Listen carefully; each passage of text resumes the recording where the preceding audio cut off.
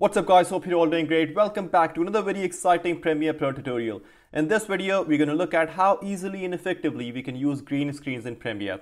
So first and foremost, let's get into my sequence and see what I've got here. So I've got four clips over here. So the first one is a guy holding his phone and then the second one is of an iMac kind of a machine and then I have this person with the green backdrop and then I have this guy who's working on a laptop and also has a green screen in front of him. Now all of these are extremely easy and I'll show you that in a few seconds. So let's look at the first clip of this guy with his phone watching something. So I'm gonna pick this clip that I want to show on his phone to replace it with a green screen. Now I'm going to place this clip underneath our green screen clip and now I'm going to go in my effects tab and we'll search for the ultra key effect and it's there. So let's drag it and drop it on our green screen clip which is the top one. I know it's been edited as I can see it in my effect controls tab but nothing has happened so far and that's because we haven't really selected the green screen yet to replace it with something else. So let's do that first and I'm gonna go in my effect controls tab and in the ultra key effect I can see this dropper so I'm going to pick this up and we'll select the green screen in my clip because that is what I want to replace. Now as soon as you do that you will start seeing the underlying clip. Now this guy is holding his phone in his hand and there is some movement too so we will have to adjust the position of our underlying clip and we'll have to create some keyframes as well so that the clip does not go funny halfway through.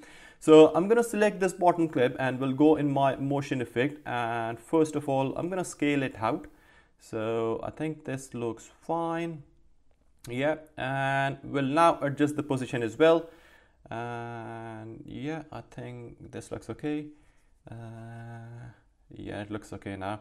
So this guys will be my first keyframe. Now let's move forward in the timeline so we can see at what point we need to adjust this. So okay, so at this point, I'm going to create another keyframe and I'm going to uh, I'm going to leave the scaling as it is, but I'm just going to adjust the position. So let me do that.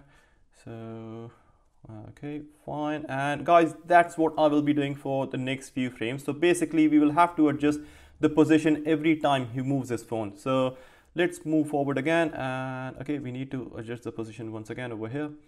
So let's do that. Okay, and here again okay and fine and again over here okay and again okay and again over here and yeah and again over here okay and then finally at this point now okay and yeah that's it so let's play this and see how it looks Okay, I think that looks awesome. And I mean, you can see how easy that was. All you have to do is, I mean, because we were kind of replacing the green screen on a smaller device. So that is the reason why we had to kind of adjust or realign our clip. Now the next one I have is pretty similar to the previous one. So I'm just going to go and place it on the track above and we'll place this clip that I want to show in the track below. And now I'm going to go in my effects tab and we'll select the ultra key effect and now just drag and drop it on the top clip.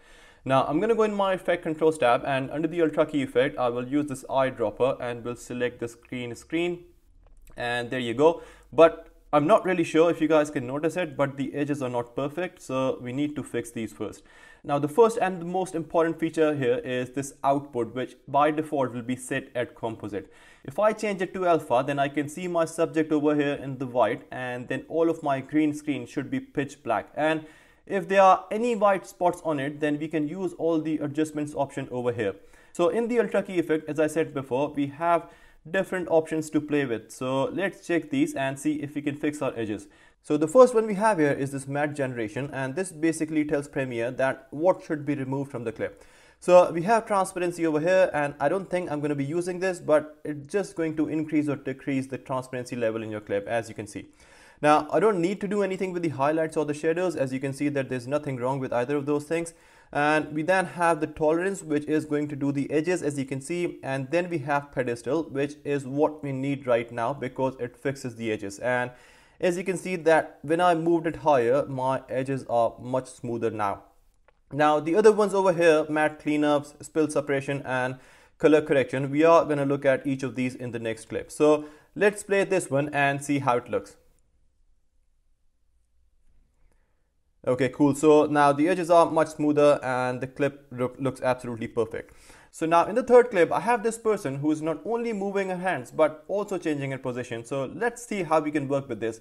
Now I'm going to bring this clip that I want to surface as the new background under it and using the same ultra key effect, I'm going to remove the green screen first. So let me go in my effects tab and bring the ultra key effect and now on this top clip, and now I'm going to select this green backdrop using the eyedropper. And okay fine. So we've done that but it doesn't look perfect and it looks very artificial. So we have all these options within the ultra key effect that we are going to be looking at now to fix this and make this clip look much better.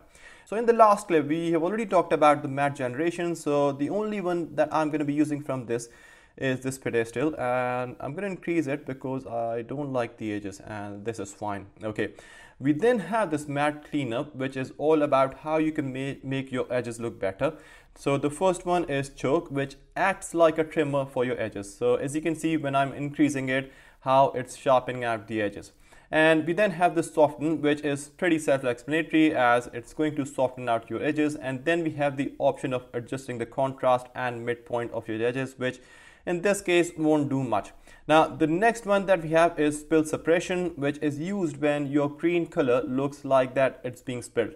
Now what I mean by that is that there will be times when you will replace your green screen but there will be some green drops here and there on your screen and you can use these controls to suppress those. And then finally we have the ability to color correct. So I'm going to make some small corrections over here. So I'm going to bring the saturation down a bit. Okay and also the luminance levels. So I think it looks much better now. Now let's go to our alpha view and see if everything looks okay. And yes it does. So let's play this clip and see what we've done.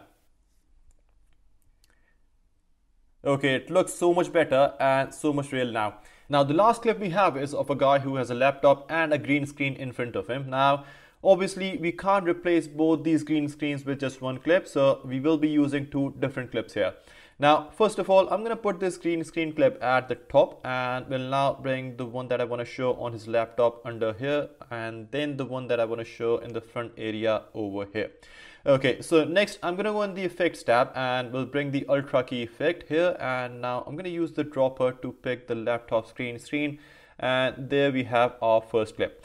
Now I'm just going to go in this clip's motion effect now to scale it out and make some position adjustments as well. So the first thing is to scale it out and I think this is fine. And now I'm just going to make some changes to these position parameters as well. So let me just do that. And yeah, I think it's okay now. Uh, let me just make sure that it is within the frame. So yeah i think it's all good. Okay and yeah it's all okay now. Okay so now to get rid of the spots that's going towards the right i'm going to use the crop effect. Now in the effects tab i will search for crop effect and now there it is. So i'm just going to drag it and drop it on this clip.